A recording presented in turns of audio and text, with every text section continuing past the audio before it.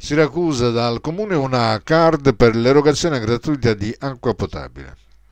Il comune stipula un accordo con i gestori delle case dell'acqua dislocate nel territorio della città di Siracusa. Il sindaco comunica che oltre ai supporti economici previsti per il rifornimento di viveri e della spesa per i cittadini siracusani che si trovano in condizioni di disagio economico a causa dell'acuirsi dell'emergenza sanitaria verrà donata una card che prevede l'erogazione gratuita di acqua potabile.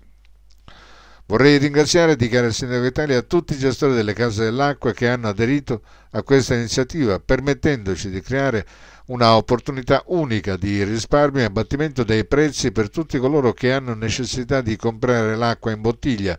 e di sviluppare un'azione ecosostenibile e di economia circolare a difesa del nostro ambiente in previsione di un consumo inferiore di bottiglie di plastica usa e getta.